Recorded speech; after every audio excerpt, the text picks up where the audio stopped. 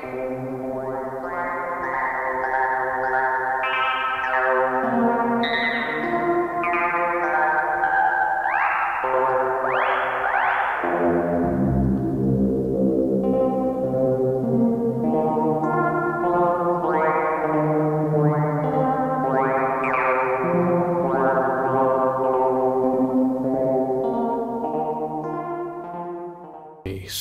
getting into the green models on the plats, plates, plats, and um, these green models, as shown in the cheat sheet, are uh, eight different oscillator models. The first one is a pair of classic waveforms.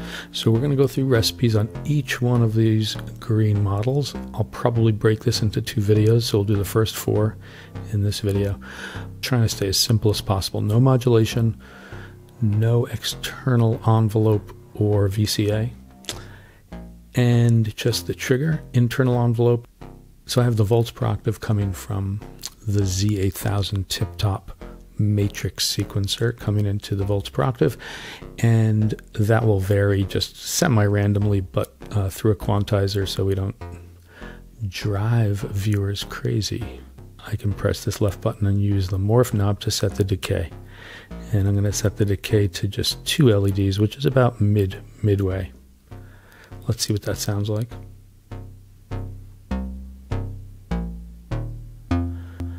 And that actually is the first recipe. It is called a bass, a plucky bass. And to do that, I got the harmonics at the center. I've got timbre, oops, timbre should be at the center. Morph should be at the center. It's all is like the simplest recipe there is. Everything is centered.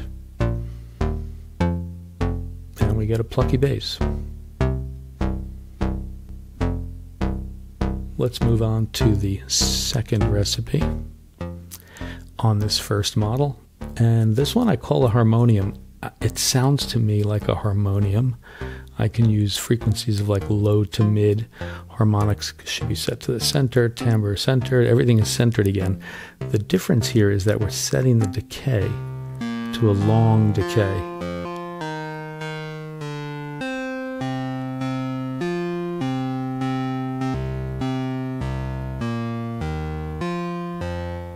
So with that longer decay, that plucky bass sounds a little bit more like a harmonium. Let's go to the third recipe, and this is just a bass drum if you are using this first green model and you want a bass drum. So we're going to go frequency is going to be full low. we we can really do anything with the harmonics, so I'll show you that. And everything else is centered except the FM attenuverter is going to be set fully clockwise. And we're also going to set the envelope back to two LEDs. Let's see what that sounds like. So with the FM attenuverter all the way up, get a bass drum. It's a little bit of a melodic bass drum. It's got you can you can definitely tune this bass drum. And there's other ways to get bass drums, obviously, but this is one way to get it on this first oscillator model. Let's go to the next one, which is just actually taking this and changing it slightly by taking the morph to 3 o'clock, and I call this one Monster Footsteps. I almost changed the mode. There we go, there's Monster Footsteps. I changed the decay to 3 LEDs.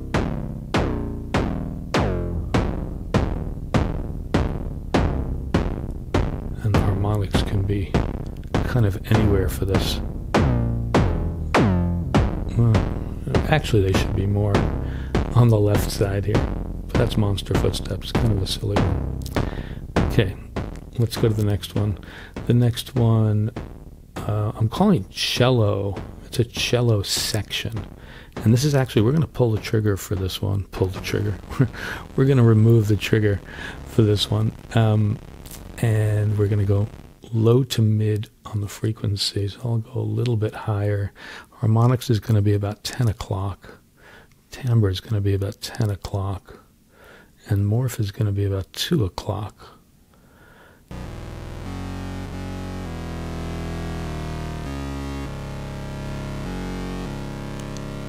Sort of a cello section. And the harmonics, you have to almost tune it. You have to almost tune the harmonics there. And on this one, I think what we should do is slow this one down.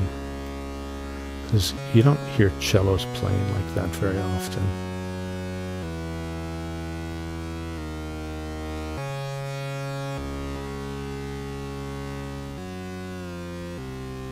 Oh, I needed to fix the FM.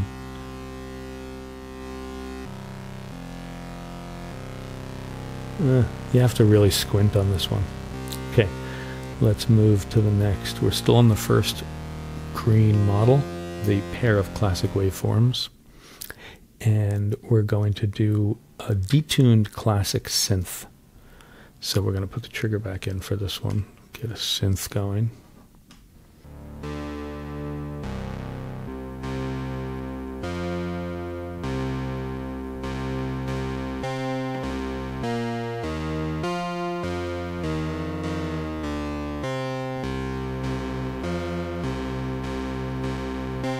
Hear, you can use harmonics to detune it a little bit more.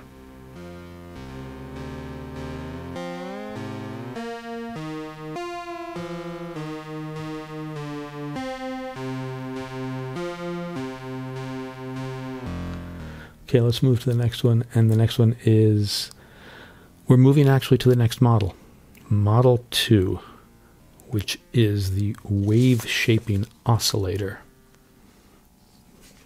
using the cheat sheet.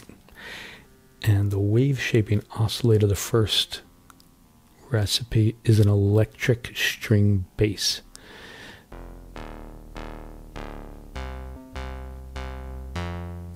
So this is meant to be an electric string bass. Yeah, sounds a little bit.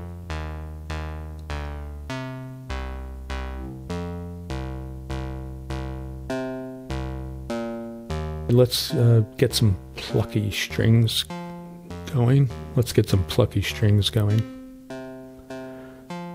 Use a mid frequency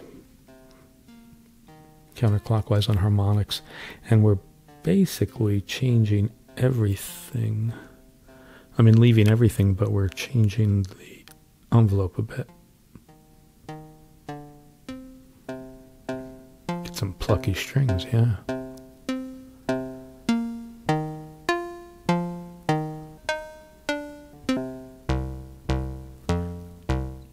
Low strings to high strings.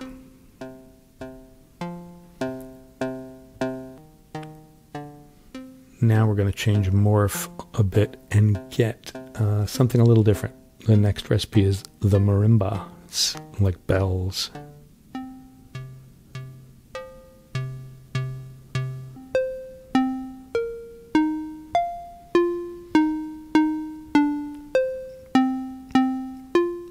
And of course, I recognize these can be created, these sounds, with so many different oscillators and settings, and even within the Plaits itself, you can get these with others. But the reason I created these recipes is so I could dial them in more quickly when I look them up on my spreadsheet by the sound I'm trying to get. So if I type in marimba, I can see, oh, I can get that on the second green model with the following set- settings, and boom, I can get there right away. Uh, let's move to something that I actually called a mandolin or an oud, if you ever heard of that instrument. It is a stringed instrument. And let's see how I did that. I think I went 10 o'clock on harmonics, counterclockwise on timbre. And then 1 o'clock or even further on morph. And let's check. I think I turned the, yeah, turned the attack all the way down.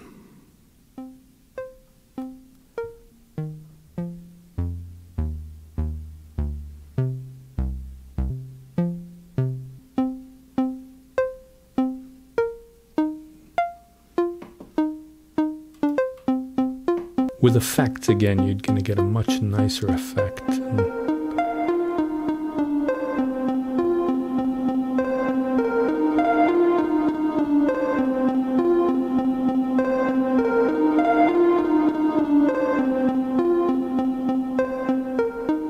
It's a little muted. It's a little muted, so I could actually increase the decay here.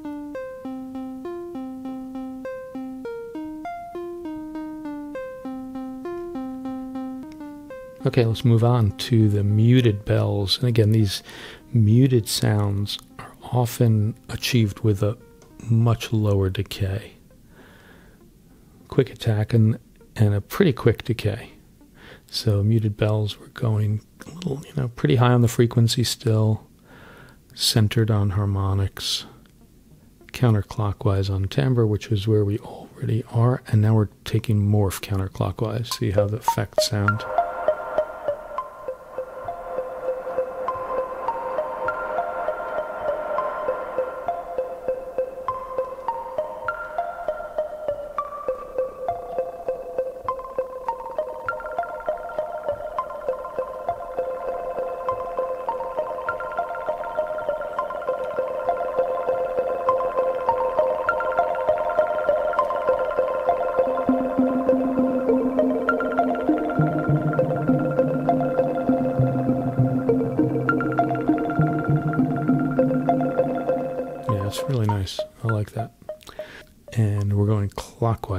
So this is going to be interesting. I'm going to make that change as you listen.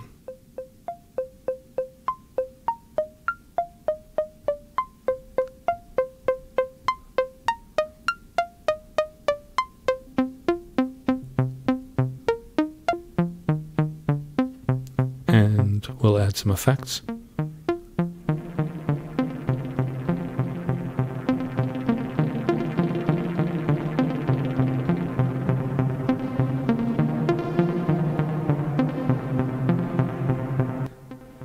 Let's do one more uh, on this. And this is, oh, sorry. No, that is it for the second. I don't have any more recipes for the second uh, model. Let's go to the third model. The third model is a two operator FM. I did not do that much with this uh, model.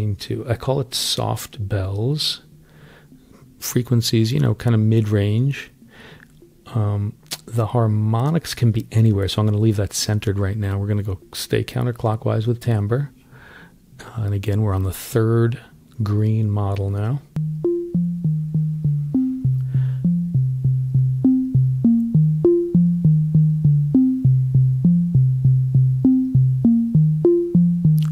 So on this model, on the FM, because I have timbre all the way down, timbre is the modulation index. So this means the harmonics, which is the frequency ratio, has no effect.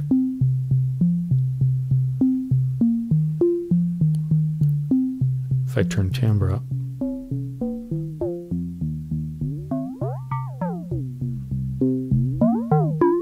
Then, of course, harmonics will have an effect.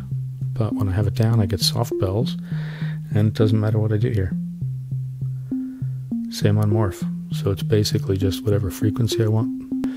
Second recipe on the third model is uh, I called it a buzzy sitar.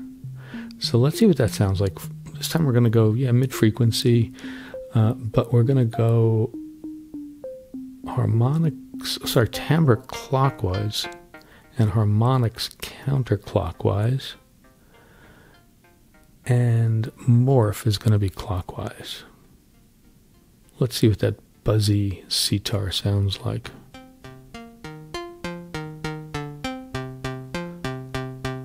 It's quite nice.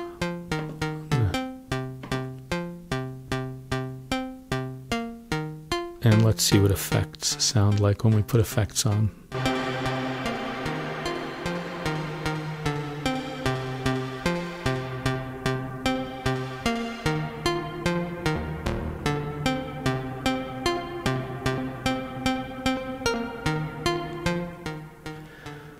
Okay, let's turn those effects off and not forget. Okay, we're going to move on from the FM to the granular formant oscillator and this is model number four. I also only did a couple here.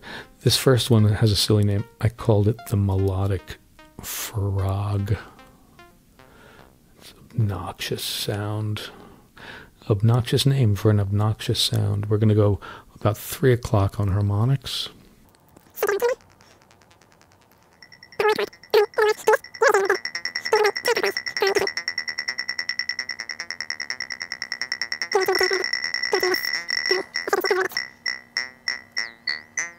Sort of a melodic frog. That's it there. Okay, that's enough. this next one is we're going, I call this one uh, say ah and other ew. So um, it's mostly a say ah, but it's got some other vowel sounds. We're going to go kind of low on the frequencies, but more low mid, about one o'clock on harmonics, about one o'clock on timbre, about one o'clock on morph, um, and we're going to center FM again.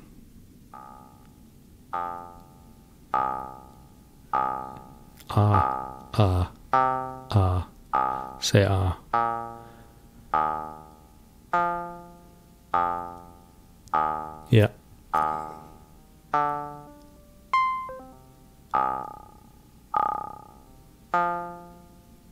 And I think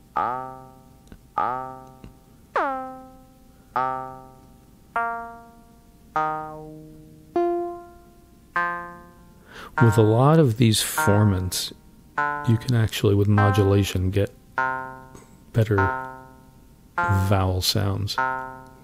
So